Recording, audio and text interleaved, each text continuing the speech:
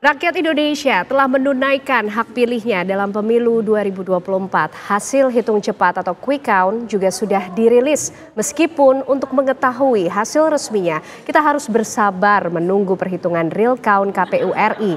Lalu bagaimana sebaiknya kita menyikapi hasil sementara pemilu 2024 ini pemirsa? Sudah bersama kami sore hari ini ada Prof. Singgih Trisulistiono, Ketua Presidium Guru Besar Indonesia. Prof. Singgih, apa kabar?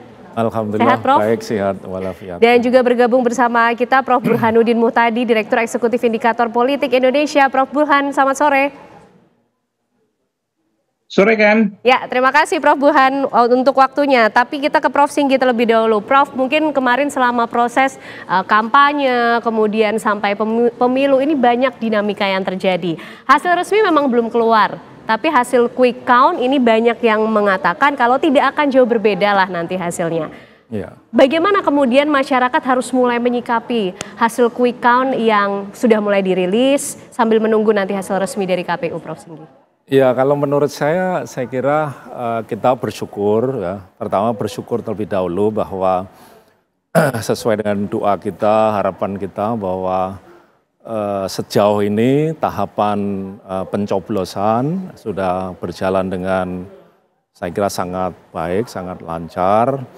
Kemudian juga uh, tahap mulai penghitungan juga sudah mulai proses berjalan dan kita bisa melihat dari quick count dan sebagian juga real count juga sudah mulai diluncurkan juga oleh KPU. Nah, saya kira saya mengimbau kepada segenap elemen masyarakat, elemen anak bangsa agar uh, tetap menjaga ketenangan, ya, menjaga kesabaran untuk menunggu hasil sesungguhnya dari uh, uh, perhitungan yang sesungguhnya. Jadi juga setiap elemen masyarakat mohon untuk bisa menahan diri, kemudian juga uh, menyampaikan pernyataan-pernyataan uh, yang tidak membakar emosi massa, kemudian juga yang menyejukkan. Saya kira itu yang oleh masyarakat sipil bisa dilakukan agar uh, kondisi pesta demokrasi ini seperti yang kita harapkan. Mhm. Meskipun hmm. mungkin dari sekelompok masyarakat masih ada juga yang coba untuk menyampaikan suara mereka dalam mengawal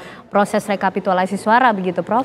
Ya, kalaupun ada sebagian kelompok masyarakat yang melakukan uh, aksi itu ya misalnya uh, melakukan protes atau mungkin ingin konfirmasi, saya kira itu hak demokrasi mereka. Tetapi ande pun melakukan hal itu, saya kira uh, pertimbangan kesejukan, kemudian apa uh, mempertimbangkan uh, wisdom dan ya. sebagainya ini saya kira tetap perlu dipertimbangkan yang yang mana uh, apa itu ujungnya adalah kepentingan keamanan kesejahteraan masyarakat yang lebih luas perlu kita perhatikan uh -huh. ya daripada sekedar untuk uh, melampiaskan kepentingan-kepentingan pribadi atau kelompok. Saya kira pertimbangan kebangsaan harus tetap uh, eh, okay. nomor satu ya. Oke, okay.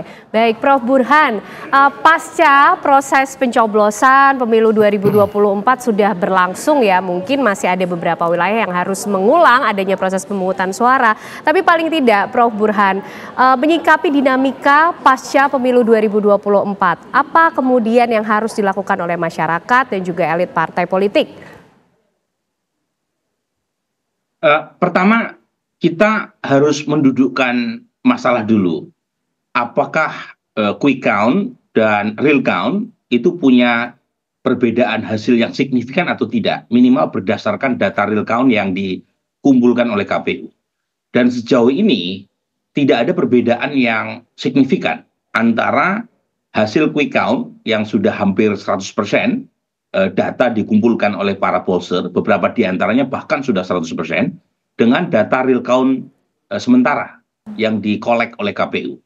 Jadi kalau misalnya tidak ada perbedaan signifikan, kemungkinan terjadinya kecurangan di TPS, termasuk dalam proses penghitungan, itu sangat kecil. Okay. Karena bagaimanapun fungsi quick count pada dasarnya adalah alat untuk mendeteksi kecurangan. Mhm. Jadi quick count itu nama lainnya parallel vote tabulation itu tabulasi e, paralel suara dalam rangka e, mengantisipasi kemungkinan kecurangan dalam konteks pemilihan yang bersifat berjenjang. Okay. Jadi dalam konteks di Indonesia, kan itu proses pemilihannya kan berjenjang dari TPS naik ke desa, naik ke kecamatan, naik ke kabupaten, naik ke provinsi sampai naik tingkat nasional. Mm-hmm. Nah, setiap jenjang ini potensial menyumbang uh, adanya kecurangan.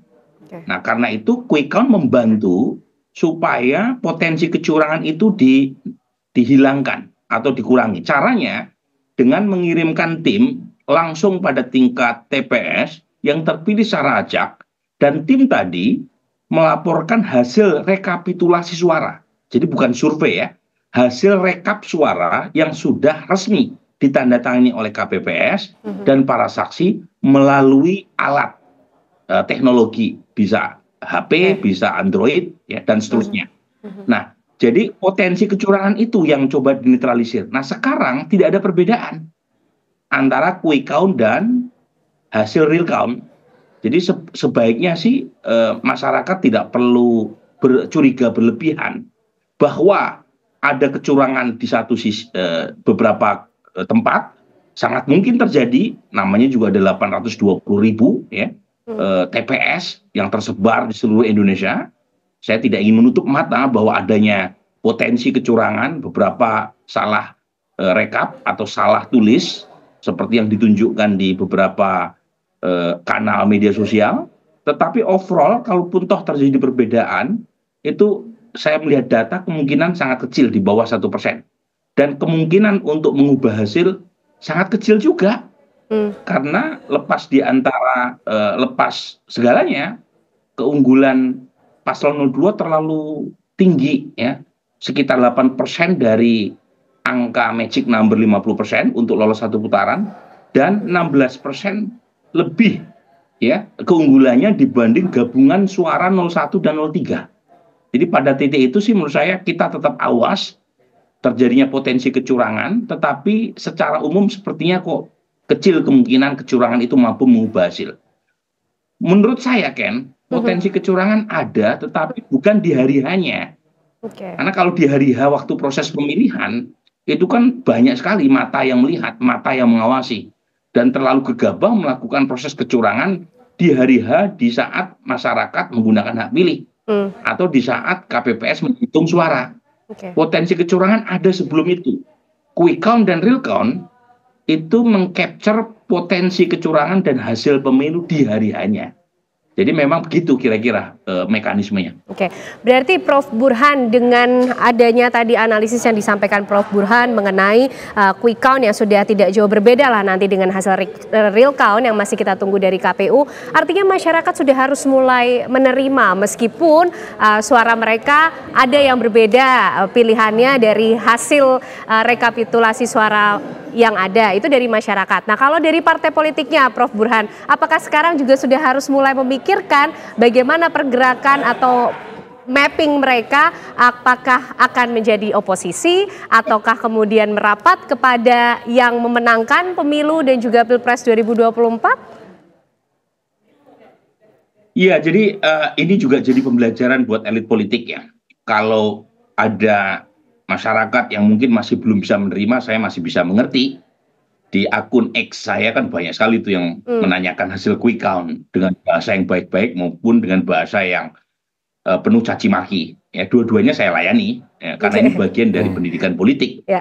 Tetapi buat elit politik yang masih mempertanyakan uh, uh, quick count, menurut saya aneh. Kenapa? Karena elit politik kita pada dasarnya kan sangat uh, berpendidikan dan jangan lupa Ken, quick count ini bukan barang baru. Jadi kami pertama kali menyelenggarakan quick count itu tahun 2004. Ya. Waktu itu langsung Pak Yusuf Kala yang eh, Pak SBY, Pak Yusuf Kala gitu ya. Banyak sekali tuh yang eh, apa namanya yang bisa menerima, ada juga yang tidak bisa menerima. Umumnya yang tidak bisa menerima adalah elit politik yang kalah. Oke. Okay. Tetapi eh, pengalaman eh, terus berlangsung sampai munculnya quick count palsu 2014, tapi setelah itu nyaris tidak ada perbedaan satu lembaga penyelenggara quick count dengan lembaga yang lain, baik yang terafiliasi dengan salah satu paslon maupun yang benar-benar independen. Hmm. Jadi pada dasarnya uh, quick count dengan metode saintifik yang diselenggarakan oleh para penyelenggara itu selain bersifat randomness dalam proses pemilihan TPS-nya, kemudian representatif, dan yang terakhir adalah proven. Dan bukan hanya di tingkat nasional, kami di indikator juga sering kali menyelenggarakan quick count di tingkat pilkada. Beberapa ada eh, tanda kutip ya pesaing yang juga melakukan quick count, tapi banyak juga yang kami menyelenggarakan quick count sendiri tanpa ada eh, eh, eh pembanding dari lembaga lain dan hasilnya lagi-lagi sesuai dengan hasil penghitungan KPUD. Jadi poin saya karena ini sudah terbukti bertahun-tahun ya quick count ini alat pendeteksi kecurangan yang eh, yang cukup valid ya dan saat yang sama juga memberi bonus kepada kita untuk mengetahui hasil pemilu secara lebih cepat ya.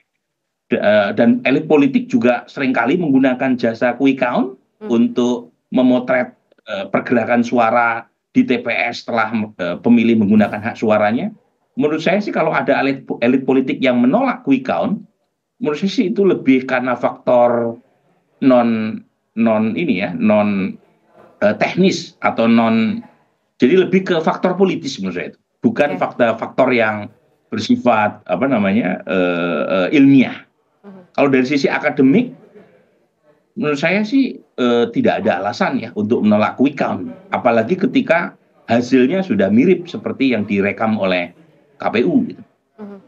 Oke, baik Prof. Burhan menarik. Prof. Sigi, kita juga ingin tahu nanti kalau kita bicara soal sikap-sikap elit politik yang kemudian harus sudah mulai menyikapi dengan bijak hasil quick count. Masyarakat ini kan juga mungkin perlu role model untuk bisa kemudian menatap masa depan kembali ya, ya, setelah betul. pemilu ini 2024 yang sudah selesai dilaksanakan. Seperti mungkin uh, dari pemilu terakhir saja akhirnya kita melihat walaupun masyarakat sempat terbelah, kemudian Joko Widodo dan juga Prabowo Subianto melakukan rekonsiliasi. rekonsiliasi. Tapi dijawab dulu, nanti Prof Singgi usai jeda kami kembali untuk Anda pemirsa.